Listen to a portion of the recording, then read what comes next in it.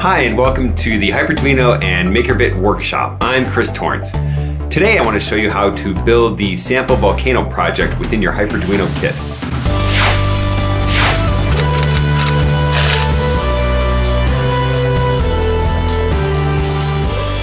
To assemble the kit, you'll need the following items.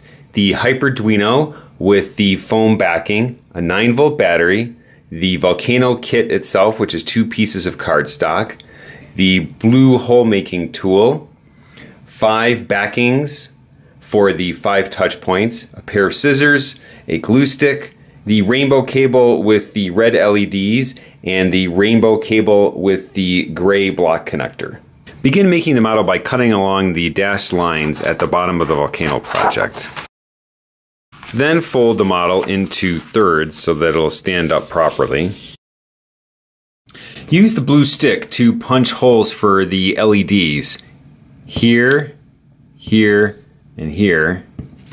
Expand the holes by pushing the blue stick all the way through.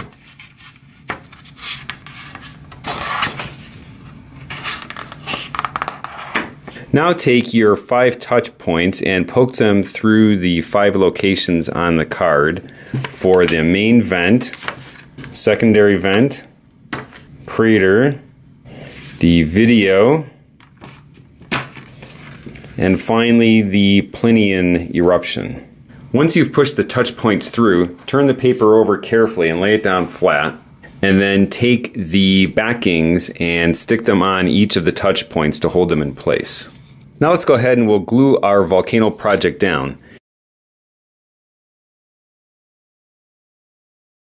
Now let's add the LEDs and the touch points. Turn the model around and starting with the brown red wire, push the LED into the spot labeled L2.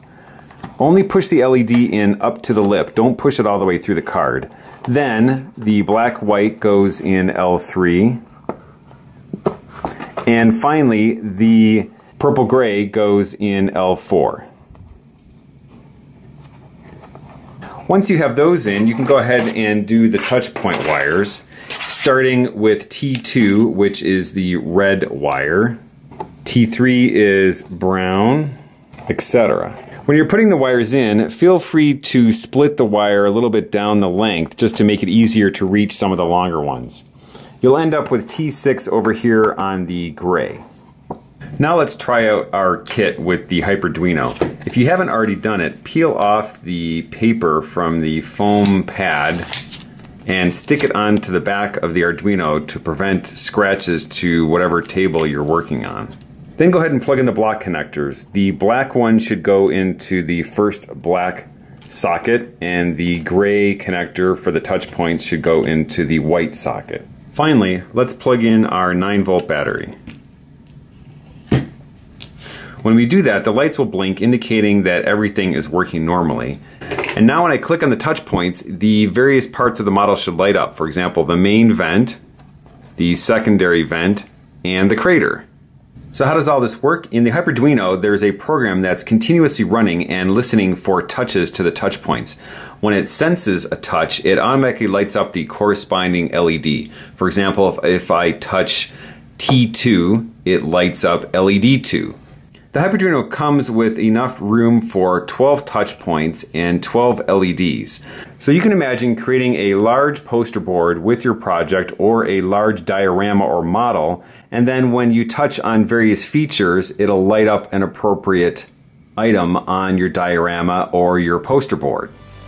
In this video, we've seen how to create an interactive project using your Hyperduino.